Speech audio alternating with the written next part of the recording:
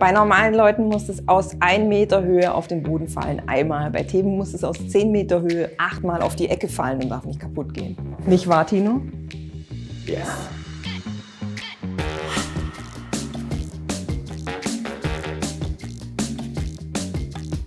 Wenn KNX-Systeme in bestehenden Gebäuden flexibel erweitert werden sollen, dann kommen häufig Funkmodule ins Spiel. Schließlich lässt sich damit eine aufwendige Verdrahtung ersparen. Theben hat nun die Reihe der bestehenden Funkaktoren optimiert. Was genau daran verändert wurde, das fragen wir heute unseren Produktmanager Tino Schleich. Hallo Tino. Hallo Steffi. Tino, du hast uns die Reihe der neuen Funkaktoren mitgebracht. Was genau habt ihr daran optimiert? Durch den Einsatz eines neuen Funkchips konnten wir bei unseren Funkaktoren die Sendeempfangsleistung massiv erhöhen massiv erhöhen. Tino, Zahlen, Daten, Fakten. Was habt ihr damit gemacht? Ja, in der Praxis bedeutet dies, dass wir mit dem neuen Funkchip die Sendeleistung um satte 200 Prozent erhöhen konnten, was zugleich eine Verbesserung der Reichweite um 100 Prozent bedeutet. Dadurch haben wir natürlich im Gebäude eine optimierte Funkkommunikation und eine verbesserte Durchdringung von zum Beispiel Decken und Wänden. Gilt das jetzt für alle Themen-Funkaktoren, KNX, Luxor Living? Profitieren alle davon? Ja, das gilt für alle Funkaktoren aus unserem Sortiment. Das heißt für alle Schalt-, Dimm-, Jalousie-, Heizungsaktoren, die Funktasterschnittstelle mhm. und natürlich auch für alle Funkaktoren unseres Luxor Living Smart Home Systems.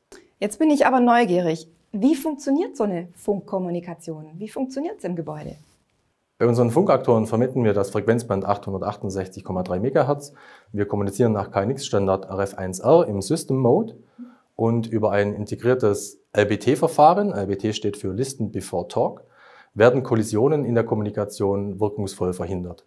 Bedeutet, jedes Gerät, das eine Information aussenden möchte, prüft zunächst, ob das Band frei ist sozusagen und sendet erst dann seine Information aus. Wie sicher so eine Kommunikation im Gebäude ist, das fragen wir jetzt unseren Experten. Bei der Sicherheit, da sieht es gut aus. Äh, zunächst mal sind alle KNX-Funkaktoren in einer sogenannten Funkdomain zusammengefasst. Das kann man sich vorstellen wie verschiedene Netzwerkbereiche. So ein extra abgetrennter Netzwerk- oder Funkbereich, in dem nur die Geräte miteinander kommunizieren, die das auch sollen. Das war allerdings nur die erste Stufe der Sicherheit. Die zweite Stufe sieht so aus, dass alle KNX-Funkaktoren KNX Data Secure unterstützen. Das bedeutet, dass die Kommunikation zwischen den Geräten verschlüsselt wird. Wenn ich meine Anlage durch KNX-Funkaktoren erweitere, habe ich die maximale Flexibilität, was meine Anlagengestaltung angeht und dabei keinerlei Einbußen in Sachen Sicherheit. Fassen wir nochmal zusammen. Wir haben ein breites Produktsortiment an Aktoren. Wir haben eine Top-Sendeleistung, eine hohe Reichweite. Wir haben eine große Sicherheit bei den KNX-Funkaktoren. Tino, was möchtest du ergänzen?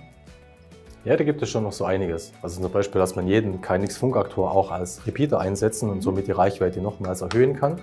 Oder worauf es bei Planung und Montage von Funkaktoren wirklich ankommt. Aber ich denke, dazu drehen wir am besten nochmal ein separates Video. Ich denke auch. Tipps und Tricks bei der Montage und bei der Planung. Daher dranbleiben, einschalten. Wir freuen uns auf euch.